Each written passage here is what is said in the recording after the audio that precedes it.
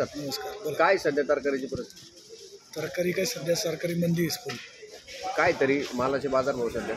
मालाचे बाजार म्हणजे फ्लावर आहे फ्लावर सत्तर रुपये ऐंशी रुपये दहा किलो.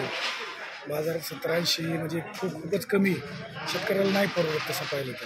सत्तर ऐंशी. कोबी? कोबी साठ सत्तर रुपये दहा किलो म्हणजे सहा रुपये सात रुपये किलो. नाही ना परवडत तसं. शिमला? शिमला वीस रुपये किलो. मिरची? मिरची काल परवा दिवशीपर्यंत चाळीस पंचेचाळीस रुपये होती. आजला तीस रुपये मिरची झाली ज्वाला मिरची. आणि काळी मिरची जी फोर ती वीस रुपये पंचवीस रुपये. पावटा. पावटा करंट आहे आता पावटा. पावटा आजला साडेपाचशे रुपये म्हणजे पंचावन्न रुपये किलो आहे. एवढा. घेवड्याची पण बाजार पडले आज पंचवीस ते तीस रुपये. चवळ्या काय सध्या? चवळ्या तर विचारूच नका. चवळ्या दहा बारा रुपये कालपर्यंत होत्या. आजला थोडी जरा समाधान कर काय? चौदा पंधरा सोळा रुपये. दीडशे रुपये पाहिजे हा दीडशे पर्यंत दीडशे रुपये दहा किलो चवळ्याचं मार्केट शंभर रुपये अचानक पडले अचानक म्हणजे वाडा वगैरे तिकडला भाग चालू झाला. नाशिकच्या पलीकडे गणेगाव वगैरे तिकडला भाग. म्हणजे लोकल लोकल माल चालू झाले. त्यामुळे हे बाजारभाव पडलेली आहे. बाकी बीट वगैरे? दुसरं बीट बीट तेजीमध्ये. बीट चाळीस रुपये ते पंचेचाळीस रुपये. मका? मका दहा ते बारा रुपये किलो. काकडी? काकडी काकडी आता थंडीमध्ये काकडी ही उत्पादनच कमी येतं थंडीमध्ये त्याच्यामुळे काकडी बऱ्यापैकी बाजार आहे. पंधरा सोळा सतरा रुपये. म्हणजे दहा रुपयापासून सतरापर्यंत दोन्ही काकड्या सफेद असेल किंवा हिरवी असेल. बाकी अजून काय काय बाकी पापडी पापडी वालवड ती सुद्धा बाजार डाऊनच आहे. पापडीची बाजार आज वीस ते बावीस रुपये निघाली. पापडी घेवडा परत फरशी अं, हे जे वाण आहेत हे वाण सगळे वाटाण्यावर अवलंबून असतात. वाटाण्याची बाजार पडली का ह्या मालाचे बाजारभाव हे कंपल्सरी पडतेच. असं ते वाटाणा. आज पंजाब वाटाणा चालू झालं वाटतंय. वाटाणे चालू झाल्यामुळे वाटाणा जर पन्नास साठ रुपये जर किलो मिळत असेल तर मग या मालाला थोडंसं गिराईक पण घेताना कमीच घेतात. किरकोळवाले पण आता आपण सुद्धा गेलो तर पहिलं वाटाण्याला प्राधान्य कमी भावात वाटाणा भेटल्यामुळे बाकीच्या मला थोडंसं बरोबर. हे होतंच आणि दुसरं आता आता फ्लावर असेल. फ्लावर आता गुजरात फ्लावर चालू झाले. गुजरातची एवढी भारी फ्लावर असते सुपर तेच जर दहा रुपये जात असेल तर आपल्या फ्लावरला त्यामुळे आता सध्या गुजरातच्या फ्लावरमुळे बाजारभाव पडलेली आहे. त्यात परत गाजर चालू झालं जोधपूरची गाजर. ह्या ज्या दिवाळीनंतर जोधपूरची गाजर वाटाणा परत मिरच्या एक चालू झाल्या काळी मिरची चालू झाली नंदुरबार गुजरात हे मिरच्या चालू झाल्या. त्याच्यामुळे सुद्धाही बाजारभाव परिणाम. गुजरातचे मिरची फ्लावर आणि काळी मिरची एवढी सुपर असतात. म्हणजे आपल्या पण सुपर असतात असं नाही. पण एकदम सुपर म्हणजे सुपरच असतात. ते जात वेगळी असेल किंवा माल भारी असतो. गिराईक त्या मालांकडे आकर्षित होतं पहिलं. मग त्याच्यामुळे आपल्या मालाला आपले जे शेतकऱ्यांचे तयार केलेले माल. याला थोडं डिमांड हे त्यांचा माल आल्यानंतर कमीच होतं. हे काय आज नाही पहिल्यापासून तसं म्हणजे गेले सात आठ वर्ष असेल किंवा जेव्हापासून मार्केट झालं असेल ज्यावेळी गुजरात वगैरे भाग चालू झाला का आपल्या मालाची बाजारभाव ही कमी होतेच. ठरलेलं असेल दिवाळीनंतर बाजारभाव का पडते? या तीन ते चार वाहनामुळे पडते कारण बाहेरचे भाग चालू होतात. बाकी भेंडी गवार. भेंडी तीस ते पस्तीस. आता थंडीमुळे भेंडी जास्त येत नाही. त्याच्यामुळे ती भेंडी जरा थोडी आत्ता टिकून एक आठ दिवस झाले. नाही तर मध्ये सुद्धा दहा पंधरा रुपये भेंडी होती. मग आता परत पस्तीस रुपयावरती भेंडी गेलेली आहे. गवार?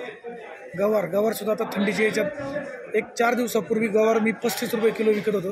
काल. आता आजला काही गवारी काही एवढी आवक काही झालेली नाही. परंतु काल गवार आली होती.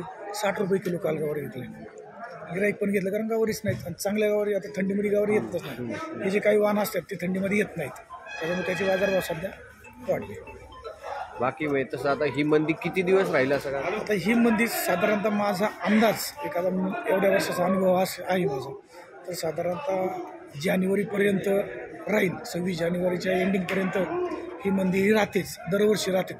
चुकून एखाद्या वेळेस बाहेर जर अतिवृष्टी झाली पावसाने माल गेला तरच ही मंदी थांबते असं असं जेव्हा मंदीचं येतं आडतदार म्हणून तुम्हाला त्याचा काय फटका बसतो? भरपूर फटका तेवढी आडत आमची कमी होणार. त्यात गिराईक माल कमी घेतोय. जिथं दोन दोन तीन तीन आता एखादं गिराईक असेल दहा फ्लावर नेत असेल छाटून किरकोळ विक्री त्याला जर वाटाणा स्वस्त भेटलं तर तो दहा फ्लावर नाही नेणार. फ्लावर तीनच नेणार. चार त्या चार टाक वाटाणेच येणार आणि आता तरी पंजाब वाटाणे चालू झाले माझ्या माहितीप्रमाणे अजून एम पी आणि जबलपूर वाटे वाटाणे चालू व्हायचे बाकी आहेत अजून. ते चालू झाले की अजून वाटाण्याची बाजार पडते. आता तरी पन्नास साठ आहे. मध्ये परत नव्वद रुपयावरती वाटाणा गेला होता पण परत पन्नास साठ रुपयावरती आला. आणि एकदा ती जबलपूर वगैरे एम पी मध्य प्रदेशवरती कडला वाटाणा चालू झाला. तर मग बाजार वाटाण्याची सुद्धा तीस पस्तीस रुपये चाळीस रुपये येते. वाटाणा हा राजा आहे. वाटाणा हा सगळ्या तरकारी राजा आहे. त्याच्यामुळे वाटाण्याची बाजार पडली का बाकीच्या मालाची बाजारभाव ही शक्यतो पडतेच. त्याच्यावर फक्त फ्लावरची बाजार अवलंबून नसते. का? तर फ्लावर हा सेक्शन वेगळा आहे वाटाण्यापेक्षा. फ्ला फ्लावर फ्लावरची बाजार ही गुजरातमुळे पडलेली आहे. गुजरातला जे फ्लावर असतात प्रत्येक ती जातच वेगळी असते गुजरातची. ते फक्त चार चारच त्याचे त्यांचा तो सीझन असतो ह्या टायमाला त्यांची फ्लावर चालू झाल्यानंतर त्यांना ती तीन रुपये जरी विकली तरी ते त्या टायमाला फ्लावर करतातच. आणि वीस रुपये किलो विकली तरी त्यांचा तो सीझनच असतो. ह्या दिवाळीनंतरचा त्यांचा जो सीझन असतो हे कंपल्सरी त्यांच्या भागात ती फ्लावर ही केलीच जाते. मग बाजारभाव काय मिळायचा तो मिळो. त्याच्यामुळे त्यांचा भाग चालू झाला.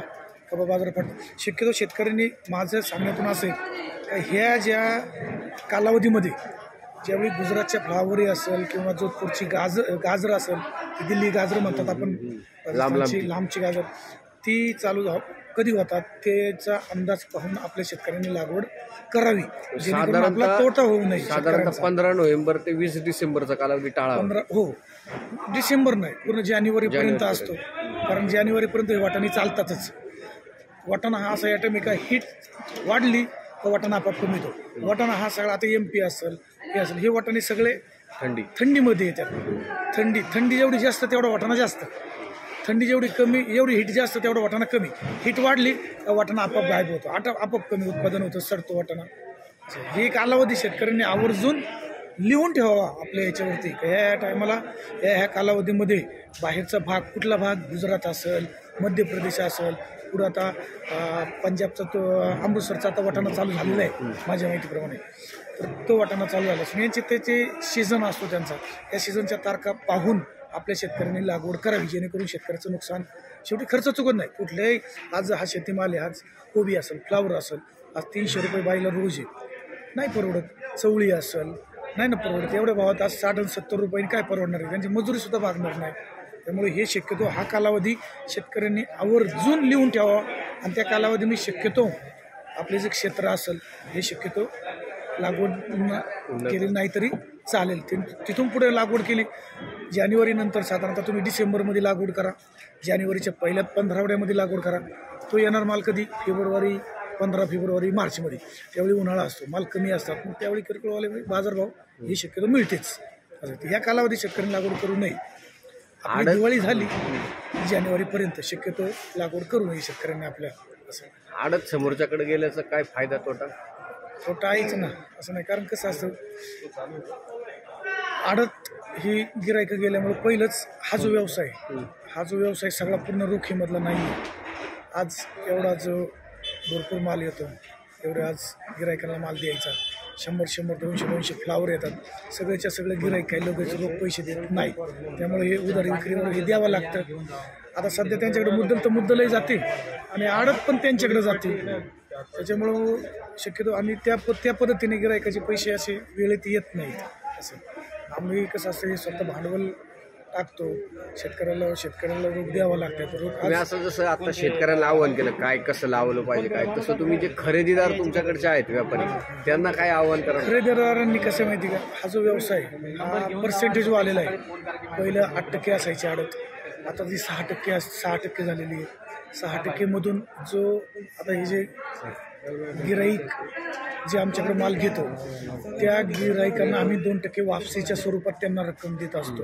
वापसी. म्हणजे आम्हाला किती राहिले? चार टक्के. चार टक्क्यामध्ये आम्ही आमचा जो स्टाफ असेल आमचा जो खर्च असेल बा- बाकीचा पेट्रोल खर्च असेल वसुली खर्च असेल किंवा आम्ही जे काही पैसे व्याजाने आणत असेल त्याचं व्याज असेल हप्ते असेल सगळा खर्च आम्ही हा चार टक्क्यामध्ये खर्च आम्ही हा सांभाळत असतो. ते दोन टक्के काही बुडीतसुद्धा होतात कारण काही अशी गिरायक असं असतात बुवा पहिल्यांदा माल घेतात नंतर प चांगलं चांगलं देतात चांगलं वेळेत पैसे देतात नंतर नंतरला एक दोन तीन आज जर ज्यांनी शंभर डाग जरी घेतले त्याच्यामध्ये म्हणजे शंभर डागाचे होतात जवळजवळ दोन चाळीस पन्नास पन्नास हजार रुपयाची बिलं होतात.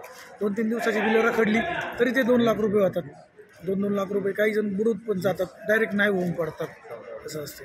ते गिरायकांनी सुद्धा आहे ना एक सात दिवसाचा कालावधी सात दिवसामध्ये आपले पैसे शेतकऱ्याला देईल.